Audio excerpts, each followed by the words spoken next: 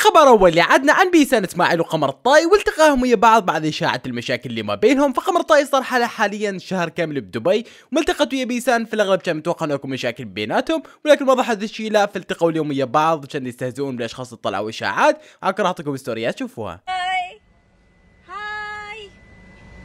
بس هيك؟ آه، لا تحكي معنا أنا ما بحكي معك.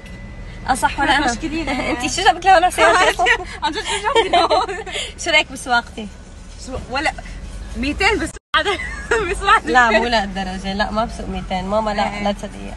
بالاضافه إنه قمر طاي نزلت هذا ال story تالا من خلال إنه اليوم راح تنزل لنا مقطع يا حبايب الساعة بالخمسة. فاكتبوا بالكومنتات جاي متحمسين. ننتقل حاليا أنس وأصالة والتهجم والفضايح دا تطلع عليهم بشكل مو طبيعي. فمتابعين أنس وأصالة يا حبايب بلشوا شوي شوي يلاحظون إنه أنس وأصالة ما يهتمون قناتهم الأساسية وإنما هواي كومنتات قاعدين يتهجمون عليهم ويقول لهم إنه رجعوا مثل قبل. وبالإضافة إنه يركزون أكثر شيء على قناتهم الأجنبية ويطورون بالمحتوى مالتها هذا السبب إنه هي طلع فلوس أضعاف القناه الأساسية. فاكتبوا بالكومنتات شو رأيكم؟ هل تتفقون بهذا الشيء أو لا بالإضافة يا حبايب انتشر فيديو الميلا صادم إنه شوفوا بنات آخر زمن إنه ميلا قاعد تحكي على الشباب إنه أكو شباب راح يجون على البيت واللي شافوا إنه هي قاعدة تفضح أمها طبعا لا سمح الله إنه على أساس قاعدة تخون أنس الشايب وتجيب شباب استغفر الله طبعا هذا الشيء والفيديو طبعا سبب ضجة بشكل مو طبيعي ولكن بالنهاية البنية صغيرة ومو مسؤولة عن كلامها يعني بعدها صغيرة فراح أحط لكم المقطع شوفوه Because the boys coming today. Who's boys? مين ال boys ولا مين ال boys؟ ال boys الشباب حيجوا مين شباب؟ Someone's coming today. Who? I don't know. The guy's coming. Which guy?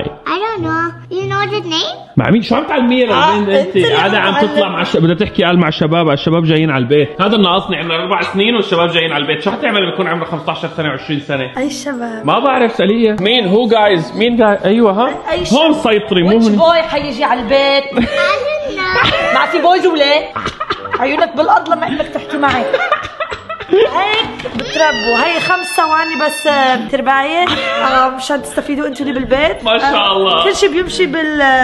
ما أدري صراحة كنا حبوا بالكومنتات شو رأيكم؟ وعلى سيرة الفضايح يا حبايب فقمر الطايح حطت like لتصميم إلها ولنور مار. رغم إن هي نوعا ما قالت إنه حد يسوي تصاميم ولكن هي قاعدة تحط لايكات. مثل ما شايفين بالدليل دليل حب فهل يا ترى هي مشتاقة لنور مار. ما أدري صراحة كتبوا بالكومنتات شو توقعاتكم؟ ننتقل حاليا لبيسان إسماعيل. تنزيل هذا ال story شوية كان صادم صراحة ولكن من الواضح انه حيكون عبارة عن مقلب إنه على أساس هي سوت عملية خشم. ما أدري صراحة راح ينزل المقطع اليوم على قناة بيسان إسماعيل. فاكتبوا بالكومنتات كنتوا متحمسين لهذا المقطع. وبالختام عن بارج دادا يا حبايب وصلوا قناتها باليوتيوب ل 8 مليون متابع. فإن شاء الله ألف مبروك عقبال ملايين أكثر. يا رب وطبعا لا يا حبايب تباركوا له بالكومنتات على هذا الإنجاز الخرافي.